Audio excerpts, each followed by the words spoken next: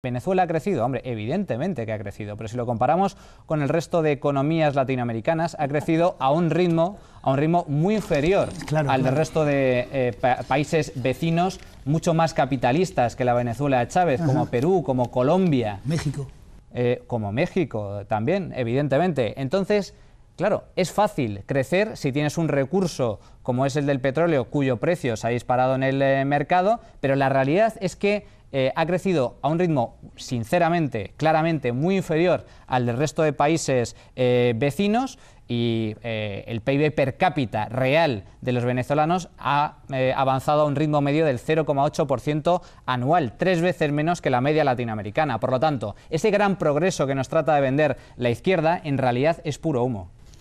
Solamente unos datos y cedo la palabra porque tampoco quiero monopolizar. México, pobreza, prensa francesa. El número de pobres en México ha pasado al a ser el 46% de la población. Eh, el 10% de entre ellos viven en pobreza extrema.